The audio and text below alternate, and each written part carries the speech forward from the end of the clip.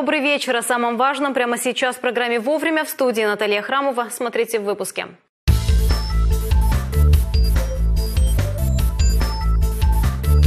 60 миллионов долларов – рекордная сумма поступит в республику на здравоохранение и просвещение в рамках одного проекта и благодаря сотрудничеству с российской некоммерческой организацией «Евразийская интеграция».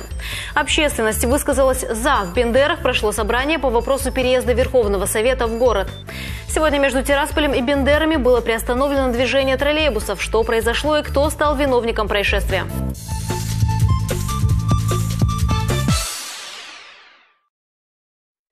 Пять дней назад правительство подписало соглашение с российской некоммерческой организацией «Евразийская интеграция», которая будет финансировать строительство в нашей республике детских садов и школ. А уже сегодня специалисты определились, в какие сроки будут реализованы первые этапы работы.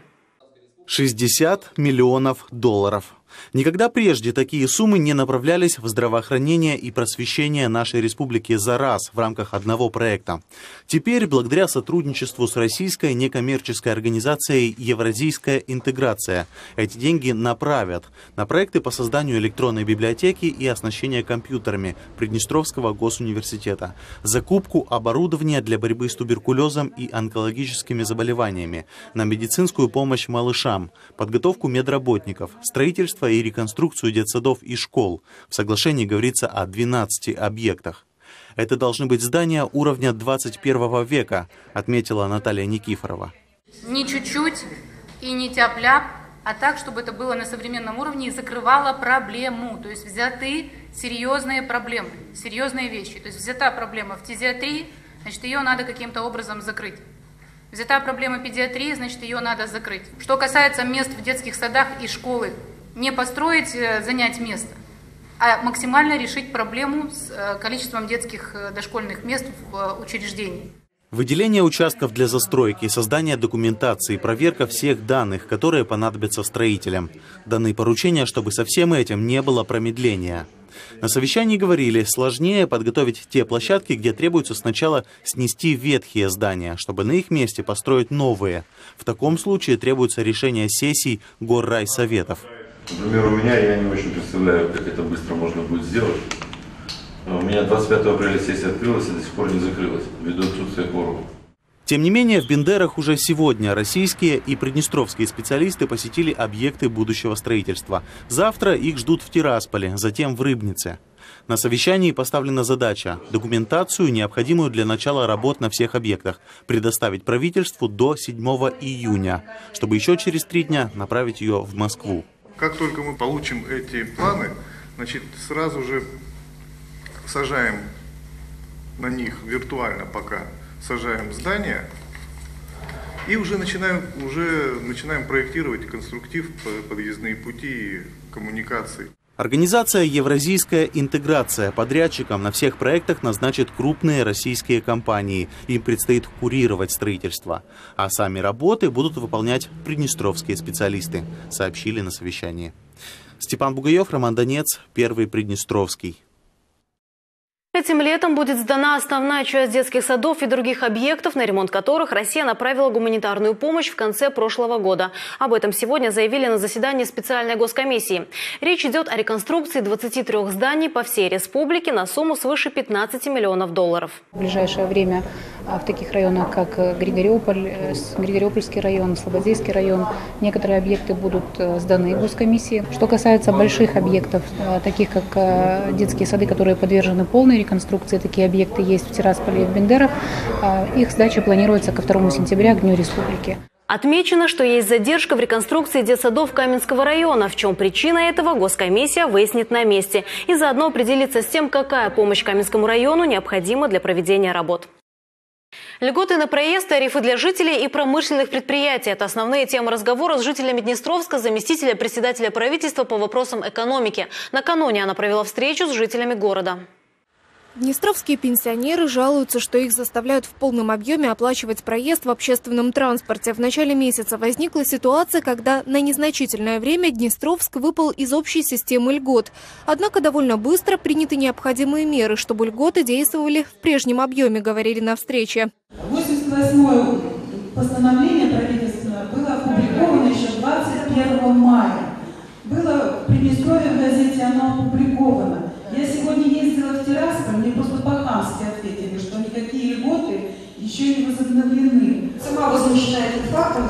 Позвоню в службу транспорта и спрошу, почему до сих пор не исполняется. Перевозчика надо. И они должны были поставить перевозчиков в известность о том, что опубликовано. И операторам. И почему до сих пор э, государственный оператор не в курсе того, что льготы возвращены. Спасибо большое, что вы сказали об этом. Цены на рынке хотели бы пересмотреть многие жители Днестровска. Закон о ценообразовании, который наделил бы правительство большими полномочиями в этой сфере, Верховный Совет отклонил. Теперь, говорит Майя Парнас, решено открывать в городах социальные магазины по принципу социальных аптек, где цены были бы значительно ниже рыночных. Уже открываются точки от прямых поставщиков, то есть от тех, кто производит, чтобы работали не перекупщики. Уже три магазина готовятся к открытию в разных районах. Будем разговаривать с главой, как будет выделено место. Молдавская ГРЭС – градообразующее предприятие Днестровска. О ситуации на электростанции жители задали сразу ряд вопросов. Повысилась цена на природный газ. Муссировался вопрос о том, что на 700 с лишним миллионов долларов э, задолжала молдавская ГРЭС. Мы вас очень просим, чтобы нам сегодня газ был по 144 доллара за тысячу кубометров. Да, действительно, экспорт уменьшила Молдавская ГРЭС. Переговоры велись с Молдавской ГРЭС по возобновлению работы. Молдавская ГРЭС ставит свои условия. То есть Молдавская ГРЭС на сегодняшний день передала свой контракт Украине. И мы считаем, что это действие не совсем дружественное со стороны Молдавской ГРЭС в отношении Приднестровской Молдавской Республики. Если учесть, что мы действительно даем и на сегодняшний день цена газа и для всех предприятий, не только для Молдавской ГРЭС, она ниже контрактной, больше, чем на 100 долларов ниже контрактной цены.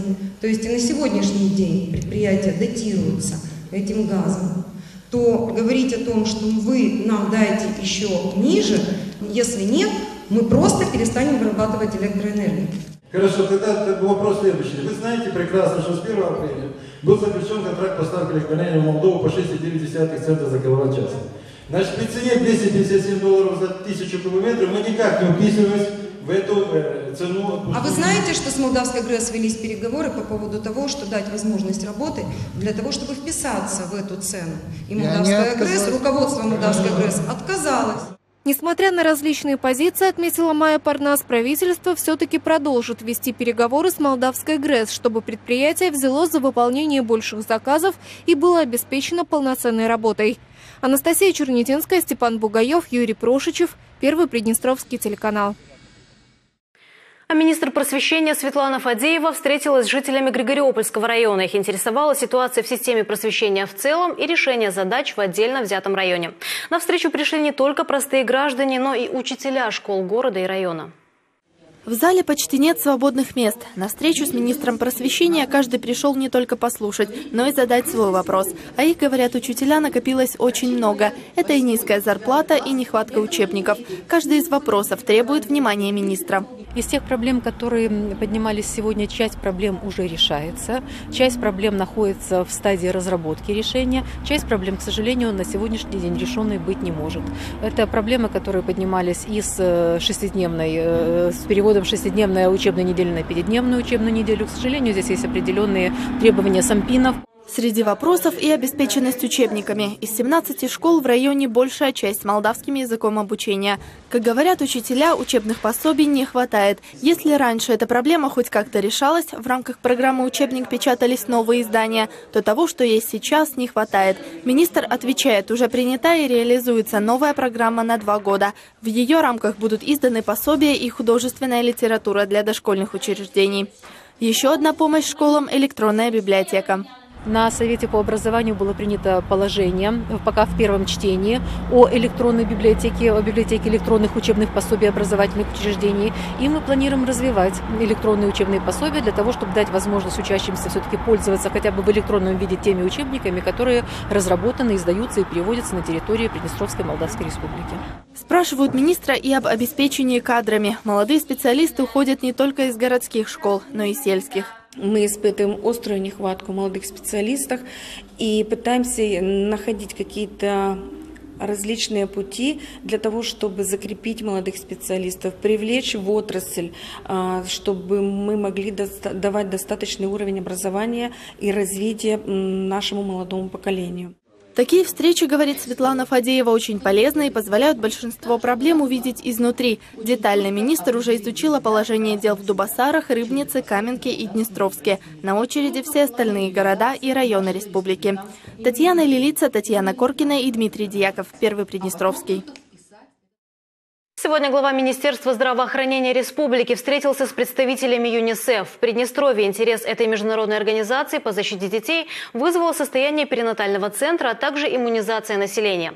Сотрудника Международного детского фонда Василий Гуменный сообщил, приднестровцы сегодня прививаются активнее, чем в соседних странах. Иммунизация населения республики составляет 93%. Гостей интересовали также условия перевозки и хранения вакцины и организация работы с педиатрами и населением. Представители ЮНИСЕФ ЮНИСЕФ интересовало также качество медицинской помощи новорожденным. В прошлом году в Приднестровье с этой целью на базе Республиканского центра «Матерь и ребенка» был создан перинатальный центр. Центр предназначен для оказания помощи родившимся детям с э, врожденной патологией и дети, которые сегодня э, рождаются с малым весом.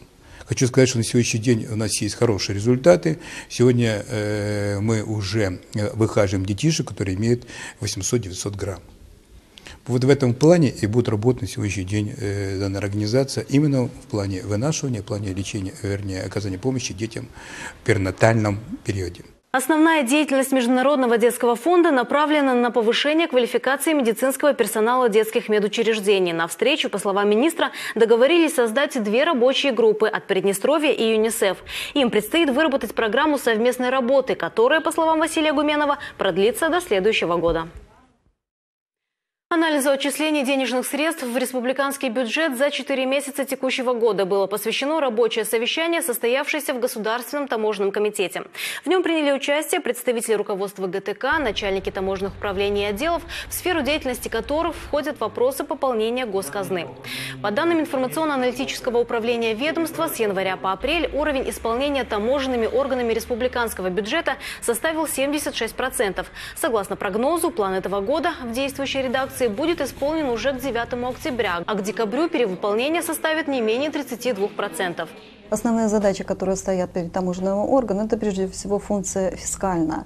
А, безусловно, а, она не является единственной, но основной и главной для системы таможенных органов. И а, этим вопросам таможенный комитет по-прежнему уделяет очень большое значение. Работа проводится совместно таможенным комитетом с региональными таможнями. Э, перед ними ставятся задачи и обеспечивается контроль по основным показателям доходной части республиканского бюджета э, с целью э, исполнения э, в полном объеме тех показателей, которые доведены до конкретно каждой таможни и в целом по системе таможенных органов. Уровень исполнения таможнями плановых показателей поступлений в бюджет стал темой углубленного изучения. Состоялся обмен мнениями в части выявления источников пополнения доходной части республиканского бюджета. В рамках проведенного анализа перед начальниками таможен поставили ряд задач. Кроме того, на совещании прорабатывались вопросы внедрения более совершенных программных продуктов, позволяющих участникам внешнеэкономической деятельности сократить временные издержки при осуществлении таможенных процедур. В их числе система осуществления платежей через единый лицевой счет – экономических агентов в таможенных органах, которая в значительной степени упростит процедуру внесения денежных средств и их списания с авансовых счетов участников ВЭД. Работа в этом направлении будет продолжена, сообщают в ГТК.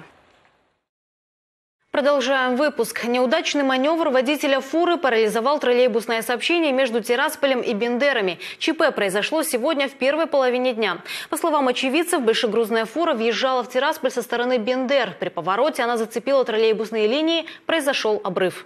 Ехали в троллейбусе, и троллейбус стал неожиданно. Мы что такое, что такое? Думаем, сломался автобус, а, троллейбус. А водитель говорит, нет, там это самое, у них, он стоит это машина делает, оборвала там, эта фура, говорит, проходила вроде бы, и оборвала там все.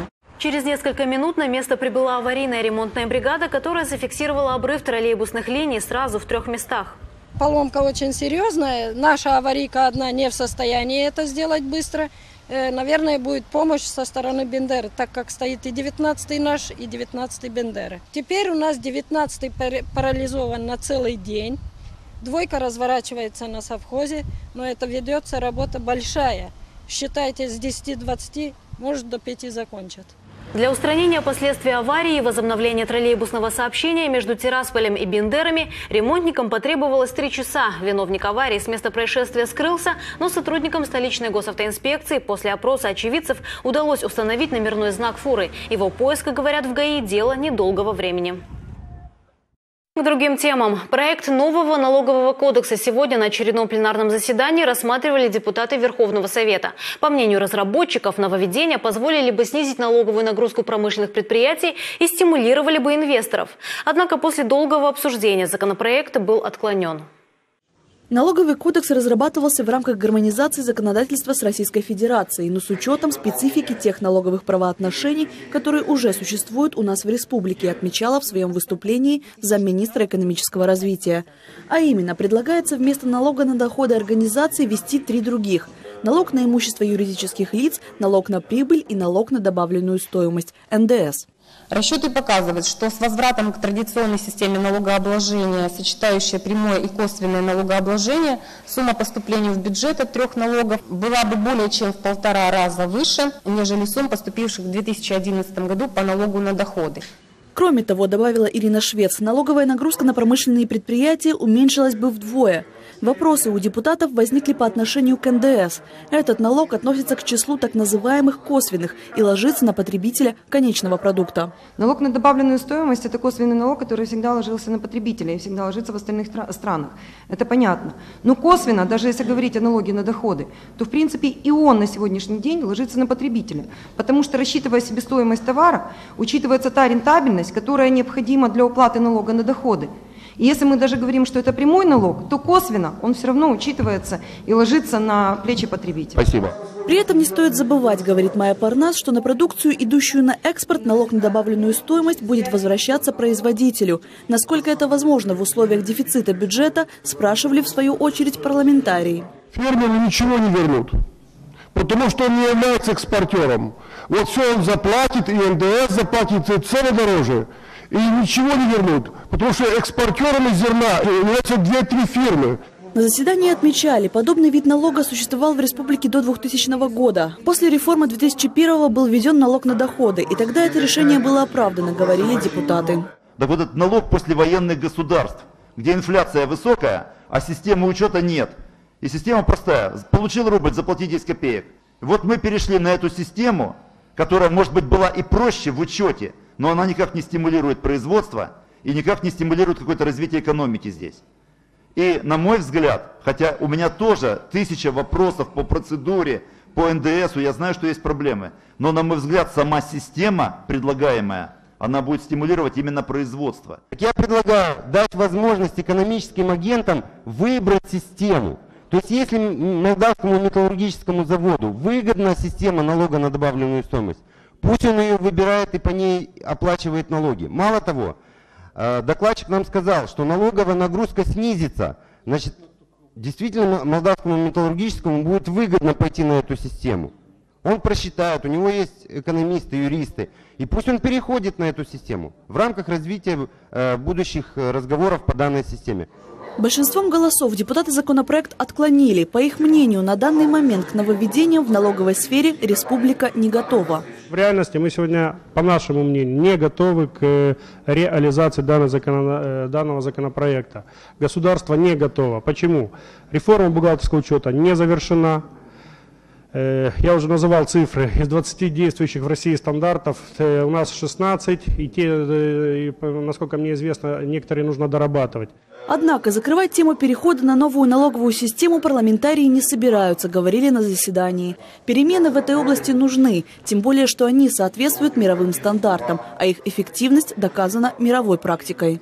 Татьяна Сярова, Наталья Храмова и Егор Бекерский, Первый Приднестровский телеканал продолжение темы общественность Бендер высказалась за переезд Верховного Совета в город. Накануне в Бендерах прошло собрание, на котором обсуждался этот вопрос. По мнению представителей местных общественных организаций, это только положительным образом скажется на статусе второго по величине города Приднестровья. На встрече говорили, Бендеры сегодня находится в уязвимом положении. Здесь стала накаляться общественно-политическая обстановка. Необходимо повысить статус города, чтобы противостоять произволу молдавской полиции, призывали бендерчане. Прекрасно понимаем, наших горожан есть озабоченность, боязнь, что в любой момент, как люди в открытую говорят, что город Бендеры могут сдать.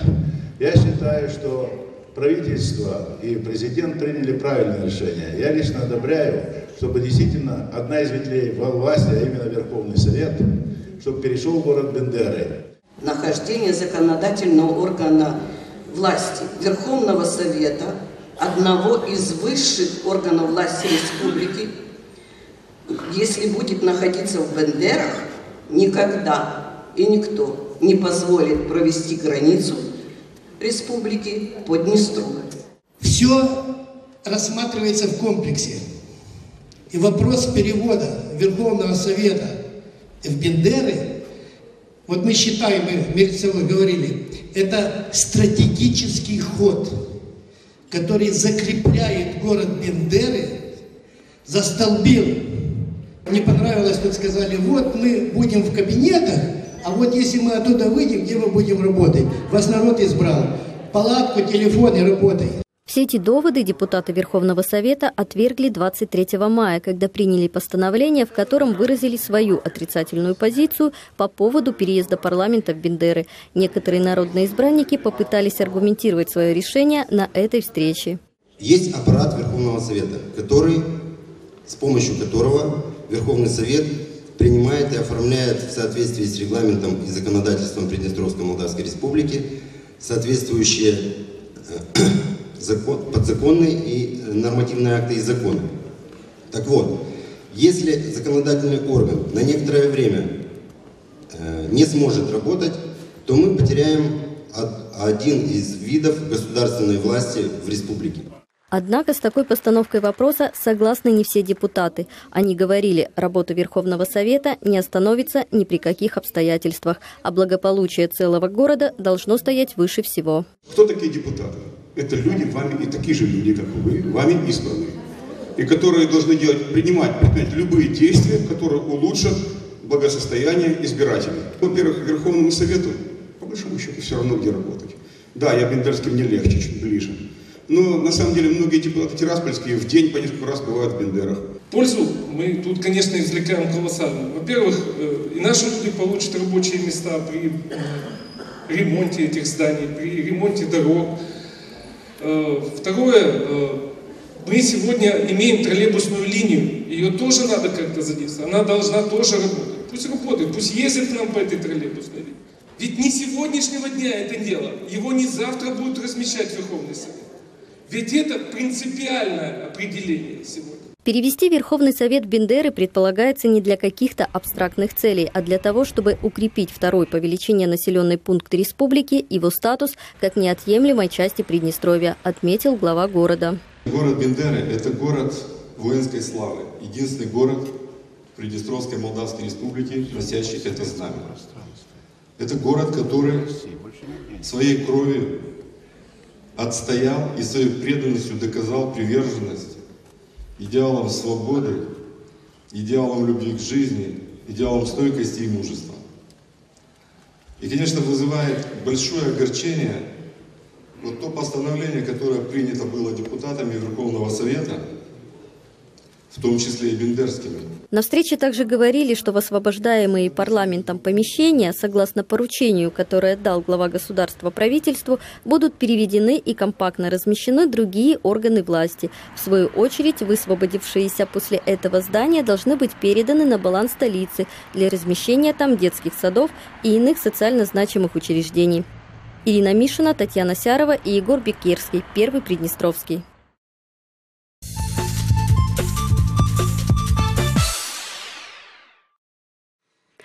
Другим новостям. В преддверии Дня защиты детей в Чопручской основной общеобразовательной школе-интернате сегодня устроили настоящий праздник с песнями, танцами и, конечно, подарками. Новые мечи, развивающие игры, сладости. Подарки от почетных гостей пока мирно лежат в стороне. В центре внимания сейчас не они, а дети. Сегодня в Чобружской школе-интернате 101 воспитанник, 24 из них – сироты и дети, оставшиеся без попечения родителей. Они попадают сюда из разных уголков республики. Миша Завтурк, к примеру, родом из Григориопольского района. Там, дома, он часто прогуливал школу и отличался не самым примерным поведением. Здесь стал хорошо учиться и начал заниматься танцами. Теперь это его любимое увлечение. Тут мне нравится, тут хорошо. Здесь очень любят тебя, они относятся к тебе очень как по-людски. Своих воспитанников здесь действительно любят и берегут, как родных детей. В школе обучаются дети из малообеспеченных многодетных семей, дети-сироты, дети, у которых э, в судьбе не всегда все складывается, э, как хотелось бы, хорошо, благополучно. Дети, которые нуждаются в помощи, в поддержке, дети, которые нуждаются во внимании. Мне кажется, что будто это моя мама. У меня мамы не со мной она сейчас, и она меня оставила, но все равно я помню о ней и стараюсь сделать ее такой, какой я ее представляю, а не такой, как ее есть. Мама, родительский дом и огромное количество цветов. Вот она, идеальная мечта ребенка из школы-интерната. И хотя сейчас они радуются наступлению каникул, готовятся к поездке в летний лагерь, каждый из них мечтает об одном – о своей семье. Ирина Полесика, Дмитрий Глухенький, Первый Приднестровский телеканал. Симфонический оркестр Приднестровья – одна из визитных карточек республики. В канун Дней славянской письменности состоялось закрытие 18-го концертного сезона. Каждый новый концертный сезон оркестра не похож на предыдущий. Вот и нынешний порадовал поклонников прекрасного премьерами и новыми встречами с именитыми гостями. В этом сезоне со сцены звучала даже скрипка Паганини, на которой играл американский солист. Фестиваль классической музыки, творческая встреча с Евгением Догой, а также совместные концерты с юными талантами Приднестровья. Это лишь малая часть тех событий, в которых прославленный коллектив принял участие.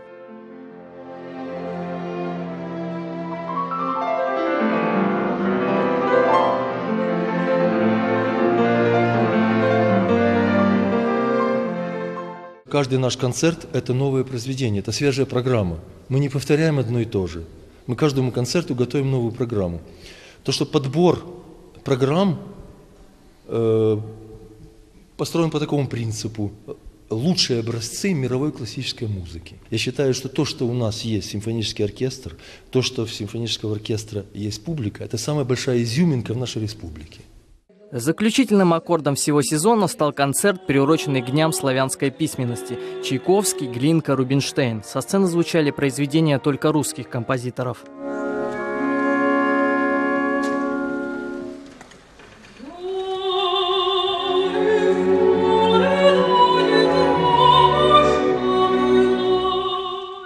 Замечательный был концерт. Особенно понравились солисты. Молодые, талантливые, удачливые. Перенасыщено состояние души от услышанного прекрасного концертного, вы знаете, уникального произведения, всех произведений. Следующий, 19 сезон, будет открыт уже 20 сентября. По словам Григория Масейка, он обещает быть не менее увлекательным. Ярослав Богат, Олег Коваленко, Первый Приднестровский телеканал. А сейчас время для новостей спорта. В белорусском Гомеле завершился 23-й розыгрыш Кубка европейских чемпионов по футзалу. От Приднестровья в этом году в самом престижном клубном турнире континента выступила тираспольская команда «Днестр». На групповом этапе подопечные Александра Орехова встретились с хозяевами первенства белорусским клубом ВРЗ и российским клубом «Армии». В обоих матчах наши футзалисты уступили со счетом 0-5 и 4-7 соответственно. По итогам соревнований обладателем Кубка Лиги чемпионов во второй раз стали хозяева турнира «Белорусы». В финале гомельский клуб результатом 2-0 обыграл московская «Динамо». Дебютант соревнований Тираспольский Днестр в свою очередь финишировал в турнире на 11 месте. А тем временем в Бендерах состоялось первенство города по спортивной акробатике. Соревнования проходили в два этапа и объединили спортсменов разных возрастных категорий. В первом юношеском разряде равных не было Виктору Марой и Милене Рудик. Артур Акбаш стал лучшим в первом спортивном разряде.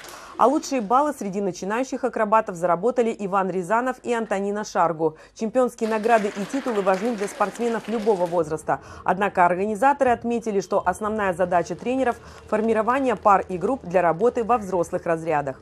У нас э, вид спорта такой, когда формируются составы. у нас не одиночки, каждый сам по себе, а у нас там четверки, пары, тройки. И мы выбираем э, способных по совместимости, психологической, э, много параметров. Лучшую программу среди смешанных пар показали Илья Сараев и Антонина Шапкова. В соревнованиях женских троек первенствовали Эльвира Кукаш, Ангелина Владова и Александра Танасичук. Мужская четверка в составе Эдуарда Бондаренко, Эрика Кукаша, Данилы Гарница и Максима Титова завершила соревнования, завоевав золотые медали. Впереди у лучших акробатов Бендерской школы международные старты на Украине и выступления в официальном чемпионате Молдовы. Оксана Шахова, Вадим Гачков, Василий Рожкован, Первый Приднестровский телеканал. Это были главные новости уходящего дня. С последними событиями также можно познакомиться на сайте нашего телеканала. А теперь о погоде на завтра.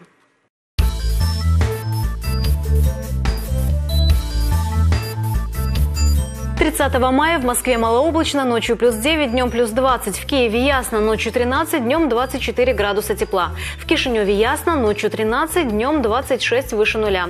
В Цхинвале малооблачно, гроза, ночью плюс 11, днем плюс 22. В Сухуме малооблачно, ночью 18, днем 24 со знаком плюс. В нашей республике по сообщению гидрометцентра ожидается переменная облачность без осадков. Ветер юго-восточный 7-10 метров в секунду. Атмосферное давление ниже нормы. Температура воздуха ночью по северу республики плюс 12, плюс 14, днем 25-27 выше нуля. В столице ночью плюс 13, плюс 15, днем 26-28 со знаком плюс. Акция в магазине техники «Фокстрот». Со 2 апреля по 20 июня беспроцентный кредит без справки о доходах. Сроком до 24 месяцев. Например, стиральная машина «Индезит» всего за 140 рублей в месяц. А жидкокристаллический телевизор LG всего за 380 рублей в месяц. Магазин техники «Фокстрот». «Фокстрот». Комфорт и цены – одно удовольствие. Центральная улица города Тирасполь, 25 октября, 98. Телефон 7 2007. У меня на этом все. Спасибо, что были с нами. Увидимся на Первом Приднестровском, как всегда, вовремя.